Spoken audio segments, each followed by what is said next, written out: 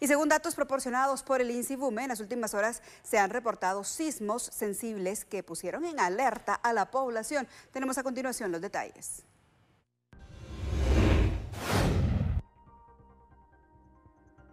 Más de 1.900 movimientos telúricos han sido detectados en el año por el Departamento de Sismología del INSIBUME, quienes aseguran que continúan realizando un monitoreo en todo el país debido a la alta cantidad de sismos.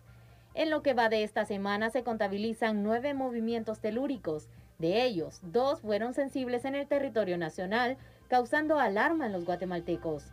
El último se registró este miércoles a la una de la mañana con 52 minutos, teniendo una intensidad de 3.8 grados en escala de Richter, con epicentro en el Océano Pacífico.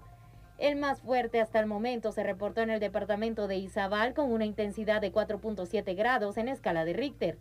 Las autoridades hacen un llamado a la población para mantener a la mano la mochila de las 72 horas y siempre mantener la calma ante cualquier eventualidad.